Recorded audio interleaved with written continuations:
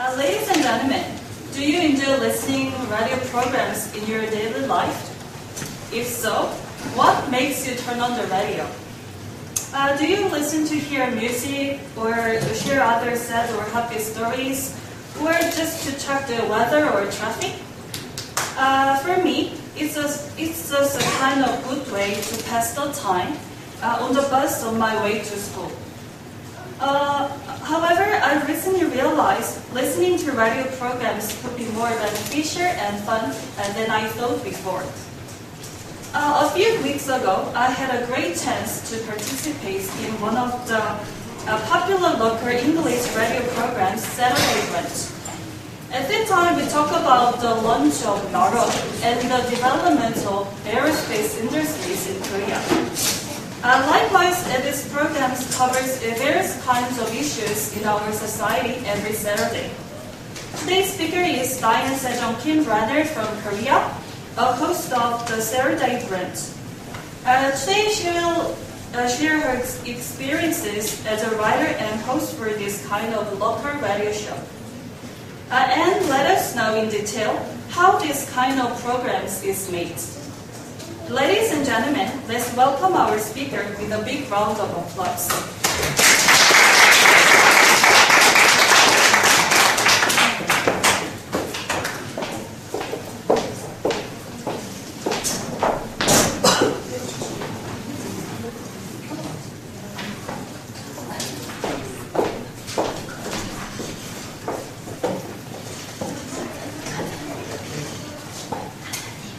Can you see better now? I can understand that the bottom part of the PPT is not very visible for the people way back, but hopefully I don't have too much words on the bottom. I'm not sure, I can't remember. All right, so good afternoon there, listeners. Welcome back to Saturday Brunch here on GFN 88.7 FM. Not really, but yes, that's how I go with the show. So my title today, I would like to present about a show called Saturday Brunch, which I've been hosting and also writing the script for the last about a year and about a month so far. And I would like to share my personal experience with you because for me it was a very new change and an opportunity to find about myself in a different aspect. Uh, so I think it would be a nice chance for me to share it with people like you which is really important because I have been in that seat for many times and had great chances to uh, share indirect experiences from the people who have talked here on uh, in front here. So I think uh, it's my turn to give back to the local community. All right, so let's get started.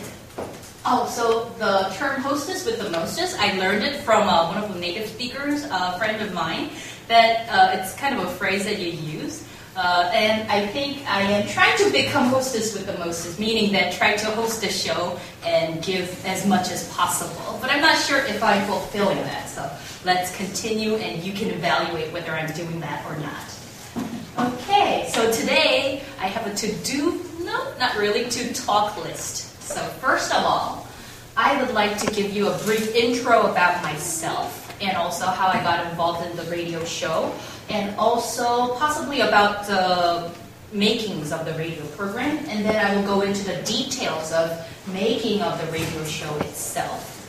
I will go process by process because it seems very simple, but in fact there is many things involved in it. Afterwards, I will talk about a little bit of the bloopers or little mishaps happening in, during the recording or even before. Some things that are preventable, some things that was just, you know, came out of blue. And then I will talk about my personal reflection after doing the show for about 50 some, something weeks so far. All right. Before I even get started, I do want to say today I'm here to talk about my personal experience as a radio show, but my talk today does not represent any views or official views of the Gwangju Foreign Language Network, or GFN, or the Language Education Center of Chonnam National University. Now you might wonder why is Chonnam National University Language Education Center is related to this. It's because many times the TV programs or the radio programs you see on TV, they are uh, basically produced by outsourcing. So what they do is they give a contract to an outside institution or uh, producer of the program, so they would get the budget and create a program, bring it back, and then they will broadcast it in the station. And Saturday Brunch is one of them. So Chonnam National University Language Education Center is the outsourcing uh, facility where they make the program and give it to GFN, and then GFN will air that. So that's why both are in relationship. And I actually have a contract with the LEC, not GFN. Okay. All right, so you can't quote me on, oh, you said this about GFN today, and I will see you, or something of that sort. All right, introduction. I, I see many familiar faces in this room, so this might be a little bit, yes, my husband's waving at me. this might be a little weird to introduce about me, but for those of you who have never seen me before, new here, or just want to know a little bit more about me, I will briefly introduce myself. My name is, on the radio show, Diane Syejeong Kim Brenner. I have a long story for that. Diane comes from uh, my grade 7 best friend. She saw an animation called Anne of Green Gables, also translated in Baigangwari N in Korean. Have you seen that animation? Maybe you have, yes. She saw it in grade 7. She really, really loved it. And then after vacation, summer vacation, she came back and said, I should be Anne Shirley and you should be Diana Barry because you're my best friend. So since then, my English name became Diana. And then when I started to work in kindergarten as a teacher, kids had problem pronouncing Diana because it was long, many syllables. So I shortened it to Diane, and therefore it became my alias in English. Uh, Syejeong is my given name in Korean. Kim is my family name. That's my paternal family name. My mother's family name is Ju. And I know that some people are starting to use both family names. But for me, because it's chu, it becomes chu Kim, which sounds a little weird in Korean. So I'm not going with that. Syejeong Kim. And then Brenner is my uh, husband's family name. Yes. And when I started the radio show, uh, my mother actually suggested me, why don't you use your husband's family name as well, since it's part of your life as well. So I thought, okay, maybe I'll give it a shot. And it turned out to be pretty good. It's a very mouthful name, but it works. So that's me. And I was born and raised in Gwangju, the beautiful city of light. I'm pretty sure we have many uh, the Jewers around here as well who are native or who have moved here or relocated. I am native to Gwangsan-gu. Any Gwangsan-gu here? Yo! I'm so happy that we have Gwangsan-gu in the house. Yes. Uh-huh. And uh, now I currently live in Bukgu with my husband near school, Chonnam National University. And uh, I have never left the city, basically. And I love my city. I'm very proud of it. I know that some people think that this part of the region is being sometimes marginalized by the you know, other regions. Uh, I personally don't feel it face to face from every day because I have never left the city and lived as a somebody who's from another region. But I love to talk to people from outside of Gwangju about Gwangju as much as I know about it. And the older I get, I do feel that I should learn more about my own city to be able to talk about it to other people. So, yep, I love my city of Gwangju. And I, oh, before that, and I do have really thick southern accent in Korean, which some people find it really interesting because I don't have much strong particular regional accent in English, so they think it's really yeah. So basically, I have twang every time I speak in Korean. And I studied English language and literature for the bachelor's degree in a university called Korea National Open University. In Korean, it's called 한국 방송통신대. Yeah. And I graduated with a BA on English language and literature. I love both. I really love uh, English plays in part of literature, and I wasn't really good at linguistics when I was in BA, but I decided to go on and pursue an MA degree in linguistics, mostly, I have to say, due to the influence of Dr. Shin. but I find out I found out that liter- uh, linguistics are also part of my passion, and it's really interesting. So I studied English phonetics and phonology in MA program in Chonnam National University for two years. I graduated with an MA in English phonology and phonetics. Currently, I am enrolled or completed the coursework So the study classes is done for the PhD, but I haven't. I am trying to get started on writing the dissertation. So I'm on the ABD, all but dissertation uh, status right now. And also, I have worked in several different places in the fields of mainly uh, teaching English as a foreign language in Korea. So I've taught, like I said, kindergarten students. I've taught preschool students. Oh, same thing actually. Uh, preschool, uh, elementary school students. I've taught some of the middle school students.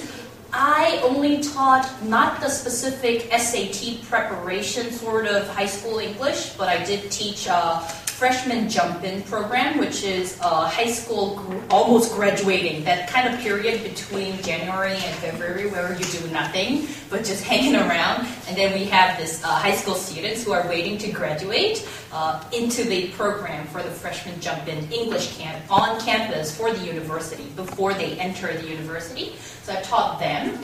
And then I am currently teaching university English conversation classes at the English department of Chonnam National University. And I have taught adults in terms of, I think, mostly free conversation tutoring. Yes. So that's my background on teaching English as a foreign language. I do have a, a, a, completed a TESOL degree in Language Education Center at Chonnam. That's most of my teaching background. And then I also worked as an international education administrative staff at the International Center of Chonnam National University. And also I worked at something called Yuhagwon. Maybe you've heard of it. It's a travel agency slash uh, study abroad agency slash uh, what else? Uh, they also do the translation business. Yes. So I have worked for about um, 11 years now, and that's my background going there. Uh, and I have worked as a radio show host and a writer since February of 2012. So this marks about a year this time. And now I think that's enough of me. Now let's talk about how it all got started, right? It always starts with the phone call, isn't it? Yes, people call you and say, uh, are you interested in doing something, right? I'm pretty sure some of the guests who appeared on my show also got a phone call or a text message. But yeah, it all started with a phone call saying, how would you like to host a weekly radio talk show? Yes, I got a phone call. Uh, that was around January last year, and uh, at that time I wasn't really working. I was during vacation because there's only university classes during the semester. And when I got the phone call, the first thing that came up to my mind was that, oh my god, I've been criticizing so much about the radio, I don't think I can do that, right? Because I did listen to GFN radio beforehand, and I thought a couple of things of, you know, to change or to get better with the radio show from time to time. And I was thinking that, hmm, maybe I could do better. That's a good song, by the way. Time to say goodbye. Are we supposed to finish? Not just yet. Okay, so I thought about it, and I mean, it's a big responsibility. So personally, I thought that I could not just make the decision right away. So when I got the phone call, I did say, uh, can I have some time to think about it, right? Can I sleep over it? So, oh, sleep on it, right? Not sleep over, sorry. sleep on that idea. And then I first consulted with my husband over there and talked about, do you think I'll be able to take the responsibility? Do you think it's worth the time and effort? Do you think I can pull it? And then I also talked to my direct family, my mom and my sister, and asked them about it.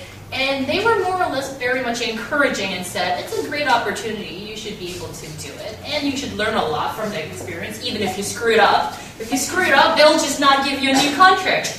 So I figured, yeah, why not? Might as well start that, right? And I have actually participated in the Saturday brunch before I became a host as a guest a couple of times. So I kind of knew what kind of show it was. So that's also why I was uh, ready, I guess, to take over and become a host.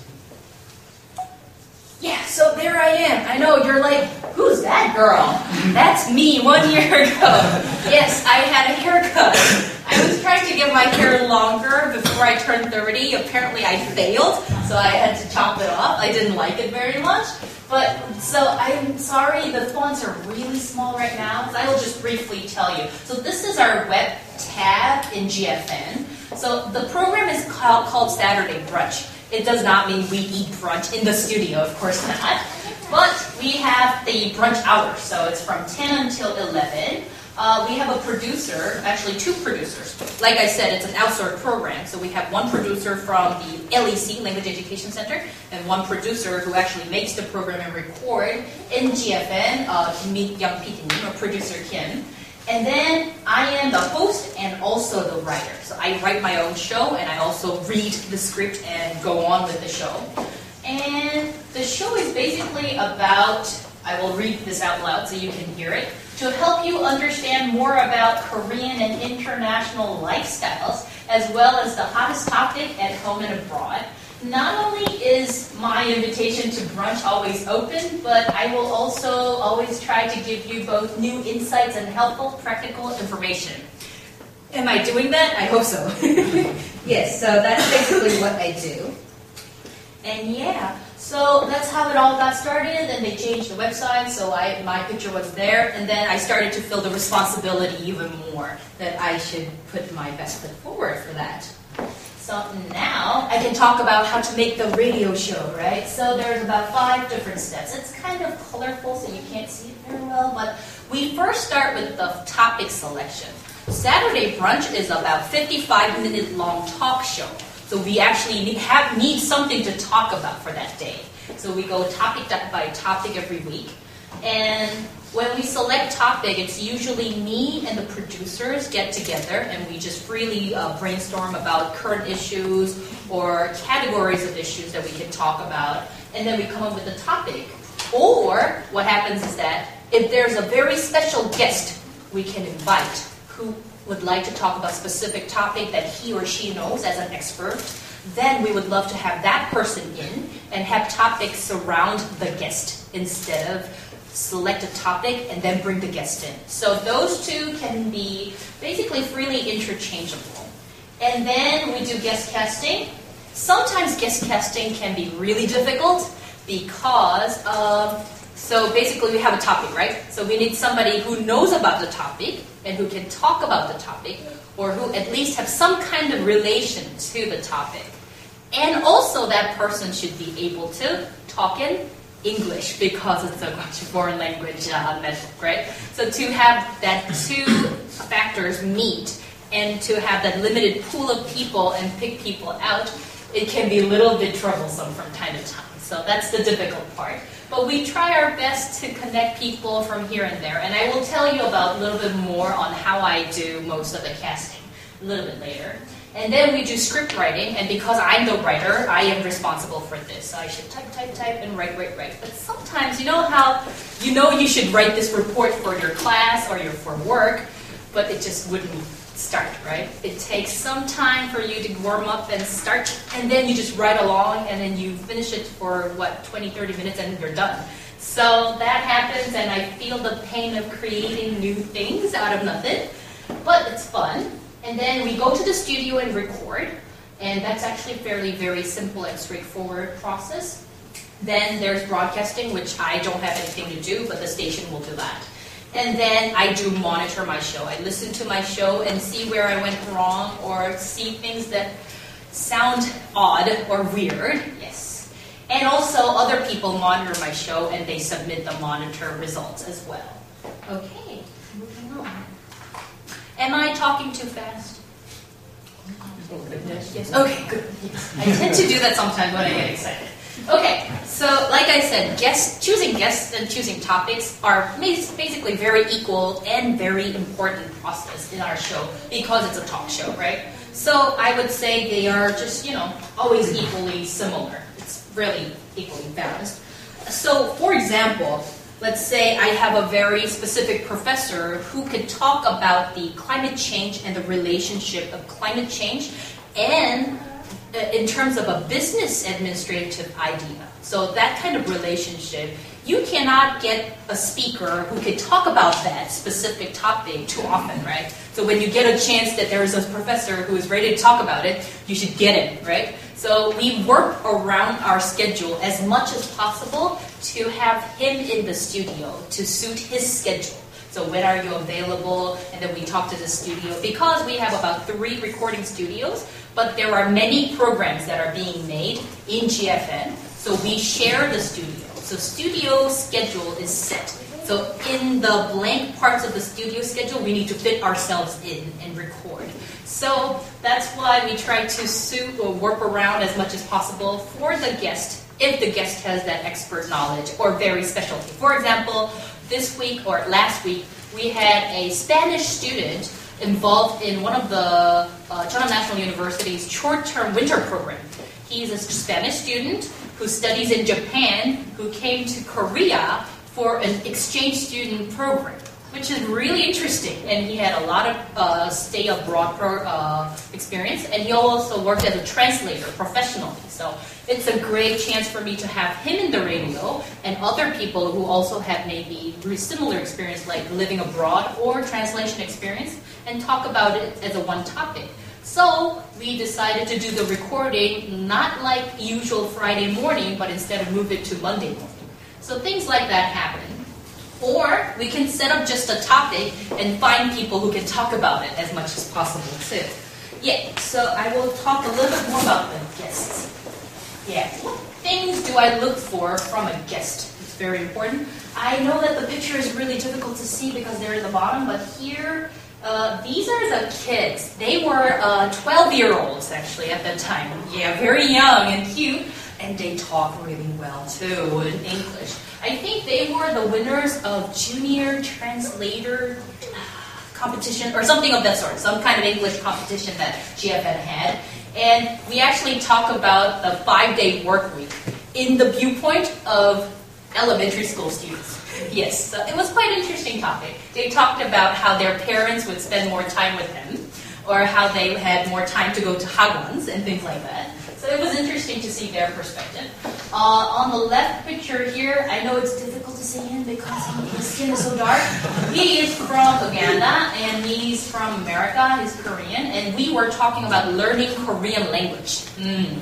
So uh, he was a teacher, Korean language teacher. He was a student, and he was also a student. So we talked about learning Korean language and what kind of difficulties there are and how it's becoming popular. So things like that kind of group the guests. So usually at one term we have two or three, mostly three people as a guest, unless we have a special program called Learn Series, where we have professors coming in and share their expert knowledge.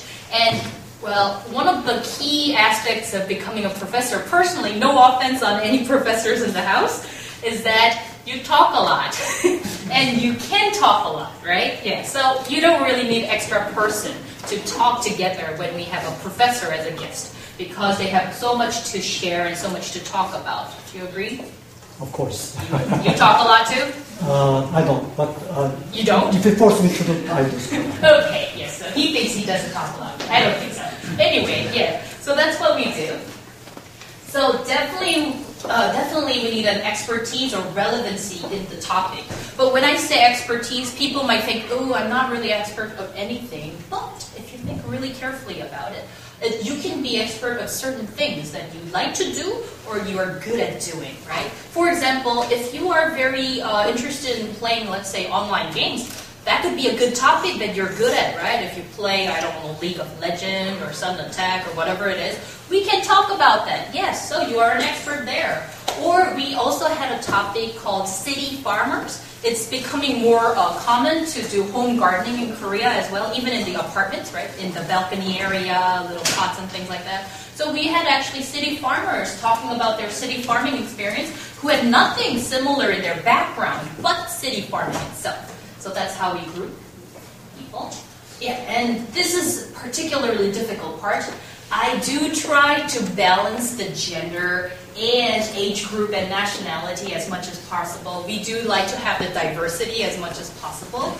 But because people involved in making the program are all females, I'm female, the producers are also female, we sometimes end up having just, you know, ladies' locker room. From time to time, we have just all all four ladies just talking about little chitter chatter thing.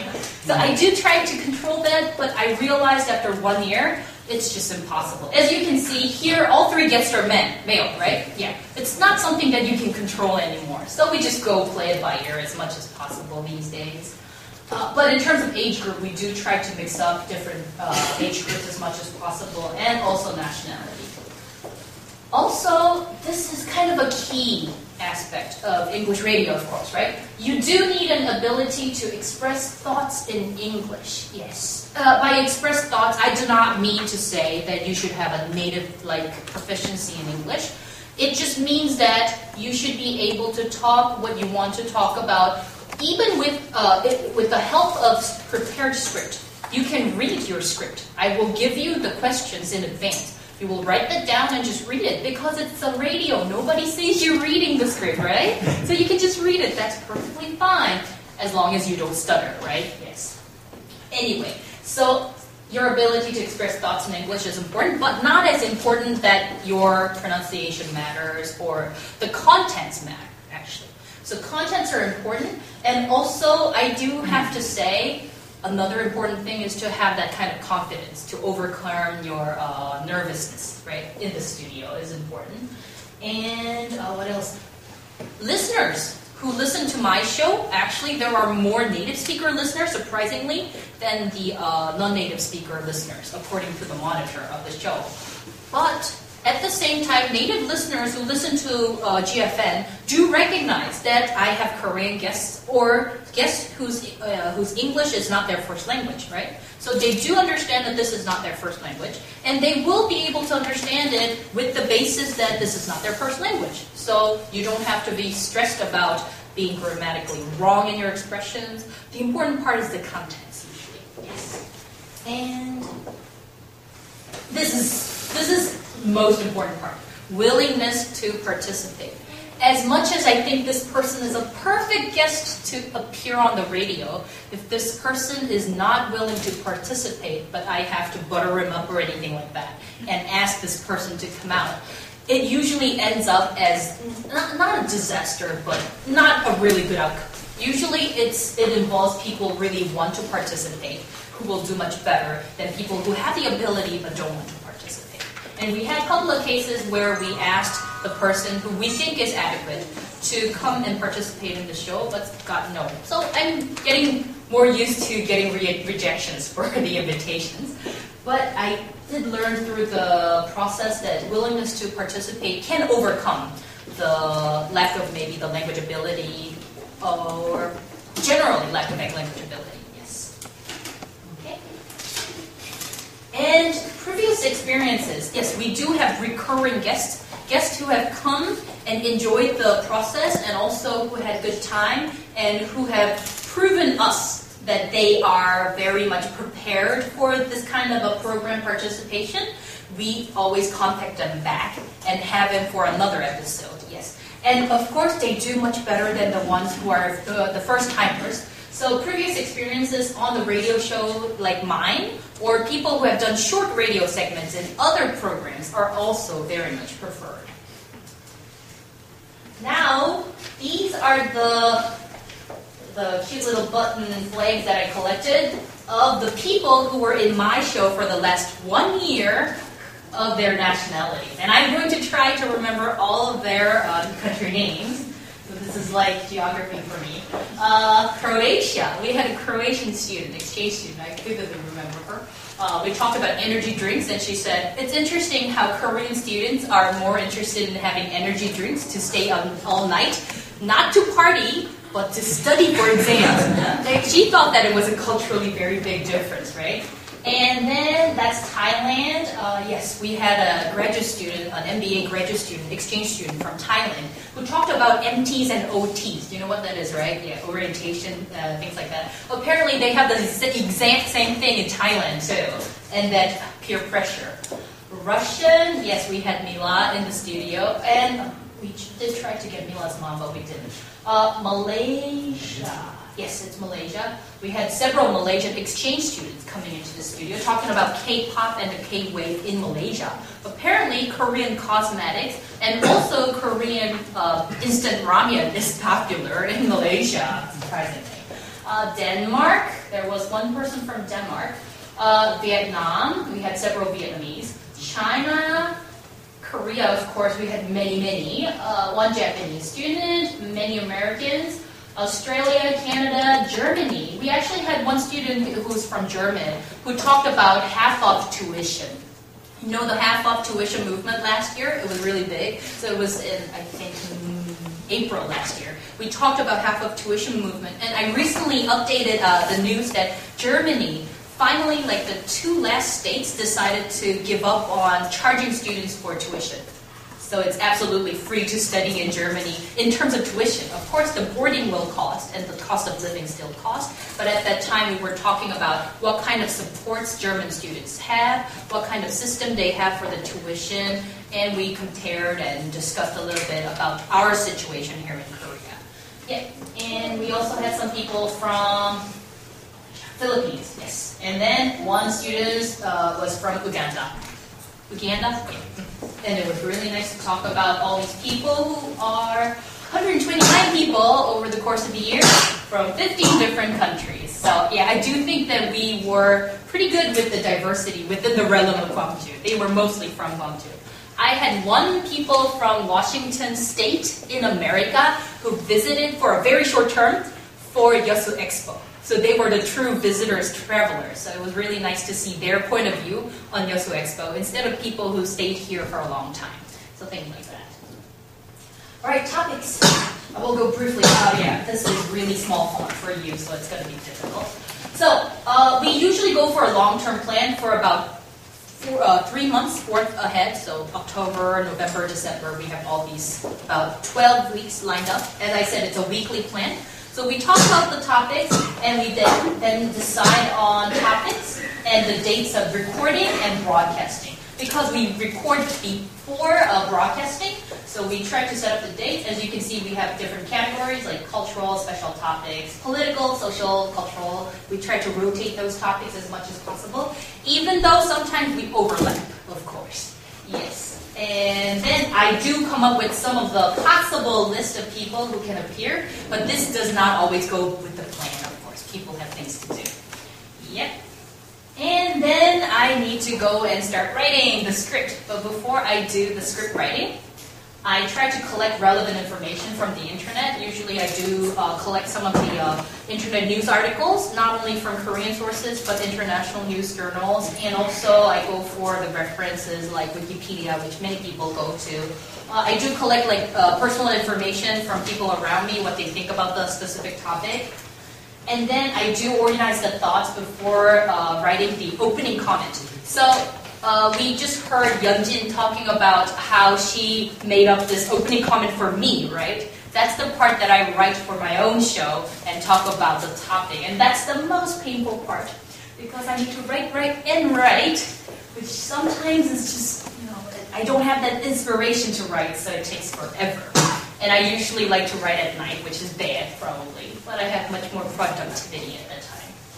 And then I cannot just use the script that I wrote because I am not the native speaker of English, right? So I do get it proofread and edited by my beloved husband, who is doing it for free. Thank you.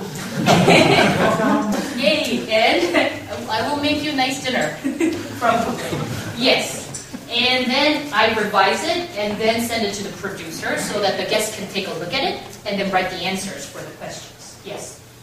And I try to send it as uh, at least 48 hours before the broadcast or uh, recording because that way we can give time for people to write down their answers in case they get nervous, they can read it. So this is an example of a script. And this is the part that gives me the most headache. It is so hard to come up with a nice opening comment. This one I wrote for uh, episode for Hansik. I will read it for you because you can't really see it very well. Succulent beef primaries marinated in rich, flavorful sauce of pepper, garlic, sesame oil, honey, ground onions, finely chopped green onions, soy sauce, and fresh pureed Asian pear barbecued over sizzling grill on your very own table. Sounds tempting? Yeah, so things like that, right? So I do need to think really hard and come up with the right word or adjective for that. For example, because English is not my first language, I would question why should I use pureed pears instead of ground pear? Why can't I ground pear, right? For Korean, we can say 가른 배, right? 배즈, 가른 배. So I would say ground pear, right? But why is it pureed? I don't know, but that's the way it is in I think native context, native speaker context. So that kind of part my husband gets in and then help out with uh, better expressions for specific context, I think. Yes. So that gives me headache most of the time. And then we get to recording part. First, we do a microphone test for not just me, but all the other three guests. We talk, and sometimes during the microphone test, uh, people have different posture during the microphone test. And in the real recording, people move around, and that's a no-no because the microphone in the studio are very specific. They have a have some kind of a directionality. So if you move around, it sounds very different. So in the studio, it's better for you to just stay in one exact pos- posture as much as possible, which feels very uncomfortable for the first timers. And, uh, and then we do recording part by part, so there are minutes that you need to make sure to go by. And I am in charge of that. So I look at the clock while people are talking, and I try to make sure to meet the timeline between part A, part B, part C, and part D. Sometimes it doesn't work as the way you want it to be, but I try very hard to make sure that the ends meet. And then, so that's what I do, time check. Yes, as you can see, when we're on air, there's a clock. And from the outside, producer writes down the time, talk till something something. And then I make sure to finish art around that time as much as possible. And apparently my pro- producer and engineer did uh, compliment me, saying that you're pretty good at that. So I'm proud of that. And there are do's and don'ts in the studio when you're recording do look at your host, me, when she's talking. So in the studio, we're talking as a talk show style. But when I'm talking, it normally means I am going to ask question to one of the guests, but you don't know who I will ask, right? So when I'm reading, you should look at me as a guest, and then I will do the hand signal. You're next, you're next, and you're next. So when I'm reading, you need to look at me. Mm do drink water or hit the rest, hit the restroom before the recording starts. Yes, it's much better to do that before the recording instead of in the middle of the recording. You feel very hoarse and things like that, or you say, uh, "Can I go to the loo?" Things like that. Uh, and turning off your cell phones is important. I do tell people, please turn off your cell phone or turn it into airplane mode or keep it outside of the recording studio. And there was one time that I forgot to say that. That one time I forgot to tell our guests, leave your cell phone out. And that one time, the cell phone rang during the recording. it's always that one time, right? Yeah, so afterwards I always tell people, you can leave it outside or turn it off inside. Things not to do in the studio. Don't make unnecessary noise while you're on air. When you're recording, it's important not to make any kind of noise, including this. You think this is not a big noise, right? But in the studio, it's soundproof room, so the paper flipping sound is very, very noisy, more or less. So when you see on the news, 9 o'clock news, you see after the news is finished, and when the announcer says, have a good evening, right? And then they bow, and there's the bump, bump, bump, bump, the sound, right? The signal sound. And do you see that people always do this, right? They put their scripts backwards. That's because they don't have their script with the with a, what's it called, stapler, right? It's not like that. Because this makes more sound than this. Mm, so that's what we do in the studio. And don't be nervous or fret when you're asked uh, follow questions. So sometimes I ask guest questions that are not written in the script. And then people get a little nervous or they, they get, oh, I don't know what to say, right? You can just say, I haven't thought about it. It's okay to say that. It's okay to say that you don't know about it or you haven't thought about it, but it's not okay to not say anything. If there's a mute moment, that's a no-no for the radio show. So it's better to say something, even if you can't remember anything. You will say, um, you know, and then I will just catch that and move on with the comments. So that's entirely possible. And then, yes, I should monitor, yes. Sometimes I get really lazy and sleepy on Saturday morning, so I miss my own show. I will confess that. Yes, I do sleep in from time to time. But monitoring is very important because, first of all, it does help me to reflect my own performance. You get to hear all the mistakes I made. The first show I have ever monitored of my own, I realized that I always say, yes, I agree to all the statements that my guest made. I was like, I agree with you, I agree with you, I agree with you, like 10 times in that 50 minute show, which is, I don't think it's a good idea. So after that, I wrote a number of different expressions that means the same thing and tried to intentionally use different kinds of expression that also means I agree. Also, it gives me ideas on how to improve next time. Not only myself, but also even for the guest. If I tell the guest to maybe use news articles that I send you as a reference to uh, empower your answers or enhance your answers, people will do that. But if I don't explain that, people will not be able to do that, and we will have a show with uh, less richer context in there, right? So usually, I think it gives me idea on how to do better, not for myself, but also for the guests next time. And then, of course, I get to learn how others think about the show. For example, we have the official monitoring people for the GFN, and we get the weekly monitoring. And I heard it through my producer about a couple of comments. For example, I talk fast. When I get excited, I talk fast, and people who are nervous will talk faster too. So we have a guest who's nervous, and I, they have me who's talking fast. So together we're talking really, really, really fast. And then the listeners will have a hard time or not feel comfortable listening to the show, especially because it's a talk show. Also, another comment was, I think, well, it was a better comment, I think, that the comments were good. And sometimes, you know, comments from the listeners come straight from your own family. My brother in law, who is in America, he listens to my show more often than any of my other members of the family, which I really do appreciate. Thank you, Stephen. Yes, and he listens to it online because Eastern time it's uh, it's broadcast on Saturday morning here, but Eastern time it's uh, it's 10 p.m. in the afternoon or in the evening or something like that on Friday night. So on Friday night, he comes home and he listens to my radio show, which I really, really appreciate. And then he talked to me about some of the shows that he enjoyed. For example, one time we talked about single uh, person household increasing in Korea, people who are living by themselves, right? And then Stephen told me, yeah, I totally agree with that subject and was interesting to hear about because he himself is also a single uh, bachelor who is living in his own house and making a living at the same time. So there was much. Um, I guess, sphere of understanding between there. So it was really nice to hear about that and have a listener abroad. So, yeah. Monitoring is important.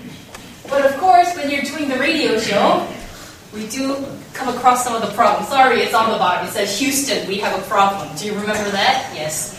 Houston, we do have a problem when people say, Good evening, ladies and gentlemen, on my show. Because we're recording in the afternoon or in the morning, but it's a morning show, right? And we're recording in advance. So when people say, Good evening, ladies and gentlemen, or any kind of reference to weather, is a no-no, right? Because we don't know what kind of weather we will have on the day of broadcast, right? Don't say anything about the weather. Or one time we were talking about energy drinks consumption among Korean students, and we wanted to air that around the time of midterm for universities, right? But we were recording before midterm, so I was talking about, hey, how did your midterm go? and yes, we're lying, right? Of course, yeah, it did well. It went well, I think, and things like that. So we do try to be careful.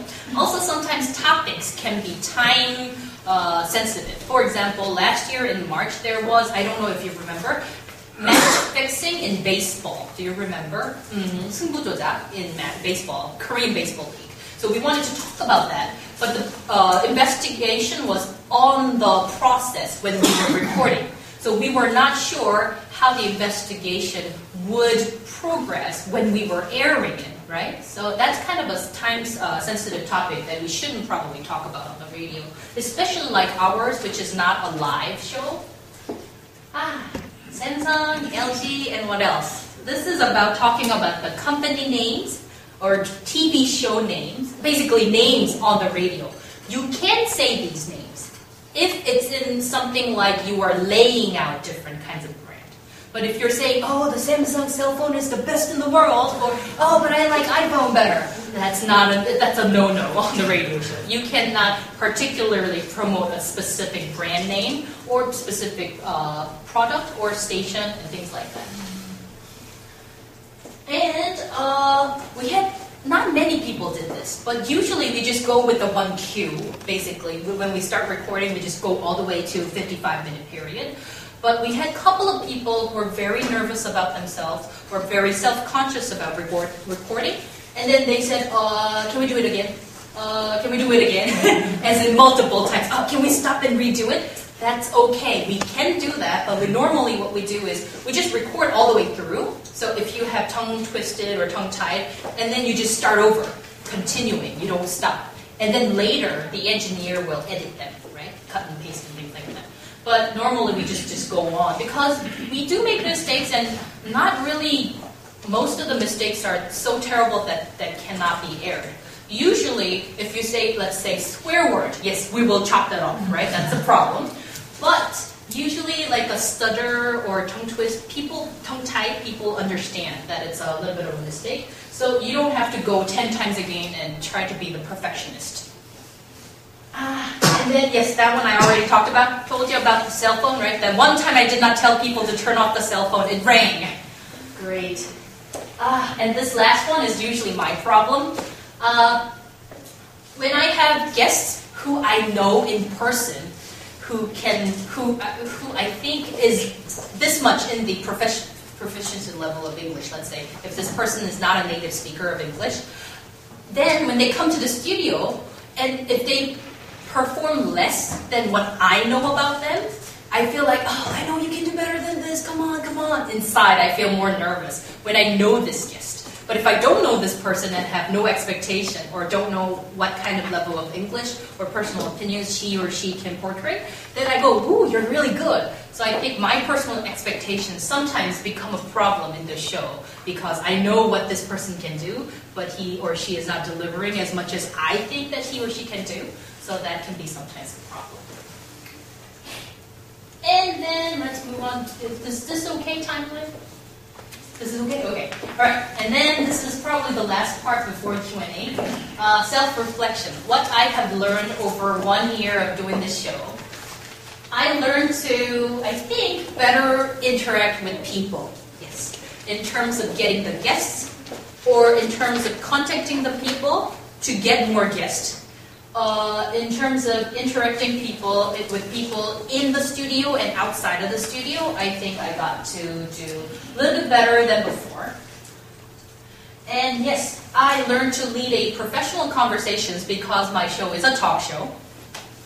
And I learned to hold balanced viewpoint on current issues instead of being very much one-sided or the other-sided because I'm a host, I should not have much strong opinion on certain issues. Except I did have a very strong opinion on one issue where it was about the uh, uh, adequate penalties for uh, violent sex offenders. Yes, because you know how it became a big issue last year in the later part of the year because of the series of rape uh, cases which was submerged, uh, surfaced on the news every day it, it's not that it did not happen, but it, the issue raised above. So we decided to talk about that, and I did have very strong opinion on that personally, which is not a good thing, but I did.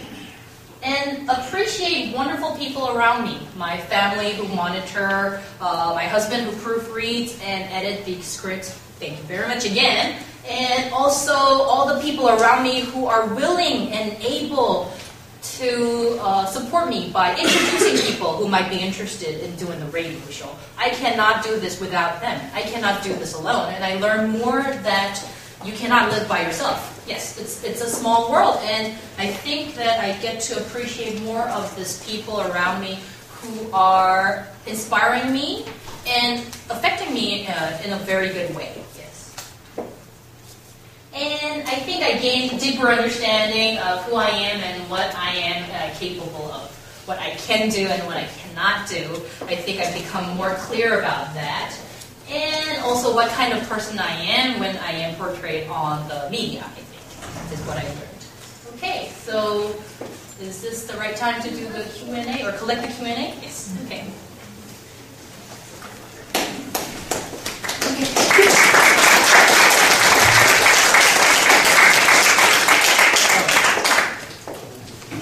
You can stay out here. I can't answer your questions. So, um, this, now's the time for the Q&A portion of the talk. Uh, if you didn't receive a piece of paper when you came in, please raise your hand. One of our volunteers will give you a piece of paper. Uh, please don't uh, ask questions directly. Write your questions on the paper, hand them to one of our volunteers, and I will ask the speaker the questions. So, um, thank you again for your uh, wonderful presentation. Uh, I think we'd like to start off with a few questions uh, about you personally. So, you uh, talked about your uh, MA in English phonology and phonetics, correct? Yeah. Uh, are there any interesting things about English phonology and phonetics that you learned during your studies? During my studies, Yeah, any particularly interesting things? particularly interesting things. Well, my MA dissertation was about devoicing of English Z or Z, which I think is very specific. Actually, phonetics and phonology tend to be very specific area of study. And what I did was uh, think about the English word like bus and buzz, B-U-Z-Z, right? Yes, bus and buzz. Uh, you think the two are different because bus is S and buzz is Z, right? But the thing is that in real conversation, Z in buzz become very much devoiced. It almost sounds like bus, right? Then how do people tell the difference between buzz and bus? Was what I studied. And I realized that there is a, a somewhat of a hyper correction for higher level speakers of English. Do you, do you understand what I mean? So Korean speakers who's, who can do, who do a, a good, I guess, higher proficiency score actually pronounce Z more strongly with Z sound at the end, even though it's more natural to not say it as a Z, but devoice it into Z in a real life conversation, like a native speaker.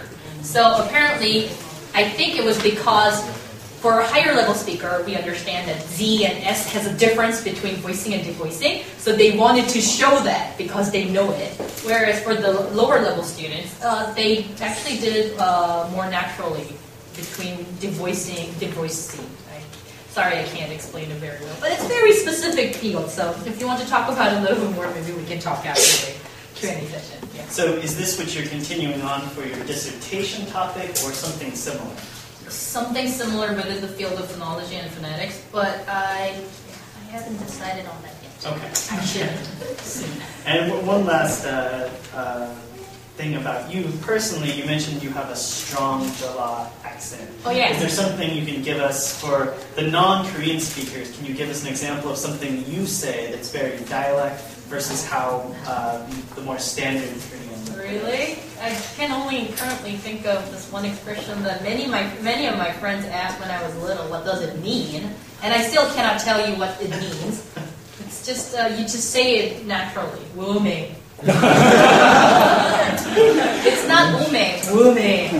Around my area, it is. Yes. Okay. Um, so, uh, I guess also about you personally, but as it relates to your show, your radio show, we have lots of people asking, "How is your English so good?" Early childhood education pays off sometimes.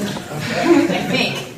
Okay, so you don't have any secrets that you can share about how to sound like a native speaker. The thing is, though, I think uh, we get less opportunity to talk in English or actually use your English after learning it from the book. So coming to GIC like here and talk with people around here, both Korean, international people, whomever it is, to find a person to talk to, whatever topic that you're interested in English, I think is important. And that's one of the ways I learned English actually after being an adult speaker. Before being an adult, I think I usually went for the Hagwon uh, environment. But after you're hitting that certain stage where learning stuff from Hagwon kind of is important, of course, but kind of has meets that kind of rooftop where you're learning something, but not as much as you want to, or not as much as you think will be important in the real life conversation. You should just be out there, find a person who can talk to, uh, who you can talk to about a topic that you're interested in. Talk about your, your favorite games, talk about your favorite application, talk about your favorite TV shows in English. And I think that's definitely uh, one way to do it. Okay, so moving on to your show specifically, could you share with us maybe your best or most memorable radio moment, or do you have a favorite topic that you've covered? My favorite topic that I've covered.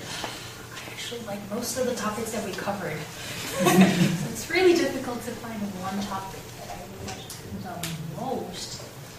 Uh, but I think recently, actually, we had two interns from GIC. Uh, they're actually right here, and I'm going to embarrass them by calling their names. but they're over there, and Yuni, are you in the crowd? No, Yuni's not here. Yeah, Yuni and uh, Eunbyeol, who is doing the internship here for the new starting. This is your second month, is that right? Yes, so this is their second month, and they were talking about uh, doing an internship what they're doing right now. So basically, a job search was the topic. So it was directly related to their current situation. And we talked so much in depth that I think I was amazed by the uh, amount of information they brought in for the studio. And they were so much prepared and very professional. So I think I remember that episode being very much like it was just on. It was right on. So yeah. Okay. Um, so is What's the most incredible or surprising thing you've learned from a guest? From a guest? Ah, surprising. I don't think I was surprised, surprised per se.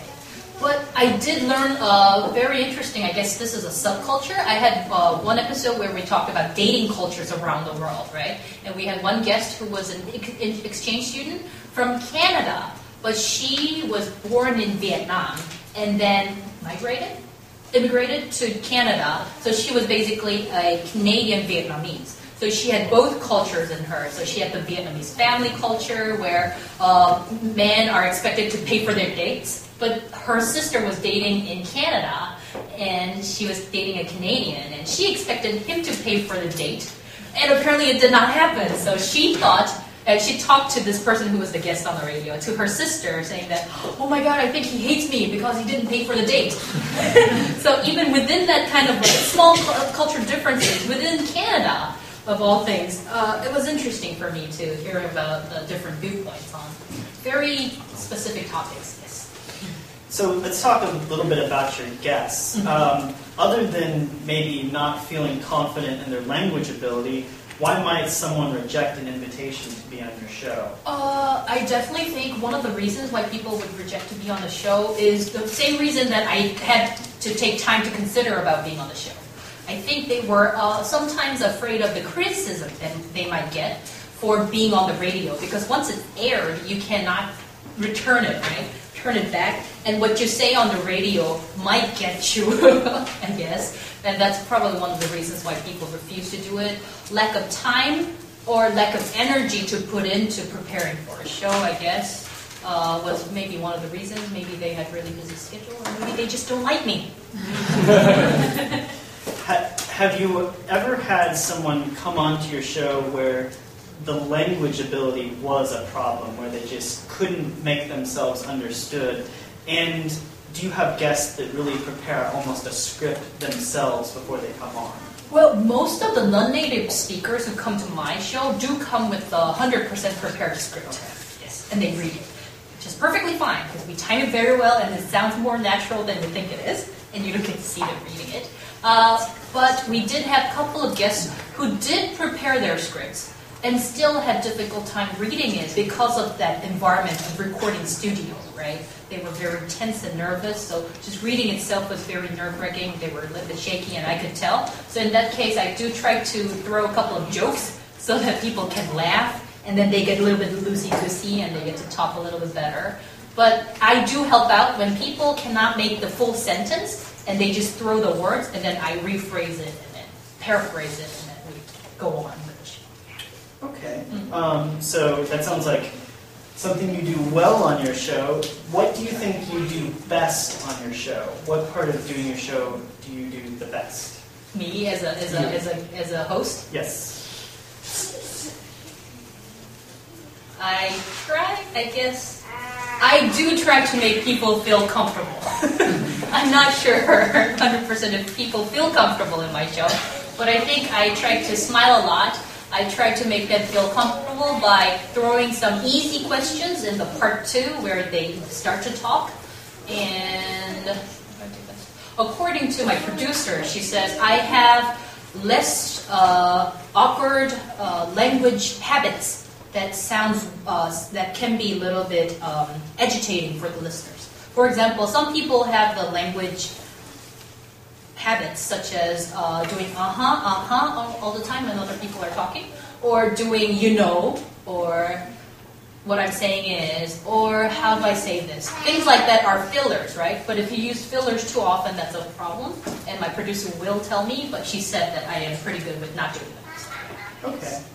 Uh, one thing that uh, some people don't want to be on the radio or uh, want to hear themselves later is people don't like the sound of their own voice. I don't, I don't Do you, so, uh, do you like the sound of your own voice? It sounds like no. Well, uh, well, I, based on my background on phonology and phonetics, the reason why your voice sounds different on the radio than what you hear yourself is because your articulatory organs are so close to your auditory organs. Do you understand what I mean? So your speech making organs are very close to your hearing organs. So that's why it sounds different. But the actual sound being made from your articulatory organ that travels through the airwaves to other people's ear is different. For example, I did not know that I had such high pitched voice until I hear myself. Yes. And uh, usually for, I think, women, it's higher pitched than what you think your own voice is. So that's very odd to hear yourself. But because I should monitor myself, so I do wear the headphone when I'm uh, recording. But the guests, I ask them not to wear it because it's really weird to hear yourself, right? So they don't have to wear it. So in my show, at least, they don't have to wear the headphones. So, just a few more questions before we wrap up. Um, first, would you talk about your future career? What are your plans after you finish your dissertation? Uh, I will take jobs that are being offered. Whatever job that is being offered, but based on my uh, degree, I will take. But I think uh, we do want to consider both of our situation, apply for a job, and see, uh, like for example, let's say he's number one and number two uh, job offers, and my number one and number two and number three job offers among them, there's maybe one and three overlap or three and one overlap between the two, we will probably do some kind of compromise or talk about it, discuss about it, and then decide where to move on, right? What's that? Pinky swear. Sure.